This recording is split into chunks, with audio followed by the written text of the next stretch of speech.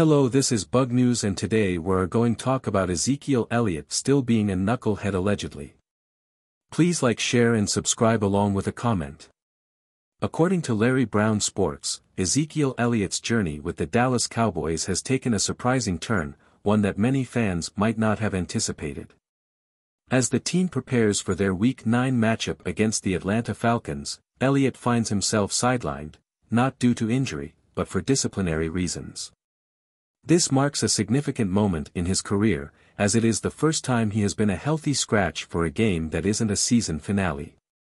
Once a star player, Elliott has seen his role diminish this season.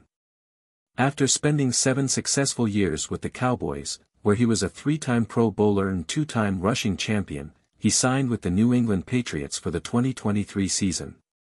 However, his return to Dallas last offseason has not gone as hoped. With just 149 rushing yards and two touchdowns in the first seven games of 2024, his performance has raised eyebrows and led to questions about his future with the team. The decision to bench Elliott comes amid reports that he has expressed dissatisfaction with his current role. This situation is compounded by the emergence of Rico Dowdle, who has stepped up as the Cowboys' leading running back, along with Dalvin Cook being elevated from the practice squad to fill in during Elliott's absence. While details surrounding the specific nature of Elliott's disciplinary issue remain unclear, this development adds another layer of complexity to his already tumultuous season.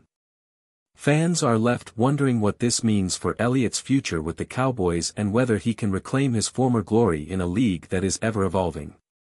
As we watch this unfold, it's hard not to feel a sense of empathy for Elliott, a player who once dominated the field but now faces challenges both on and off it.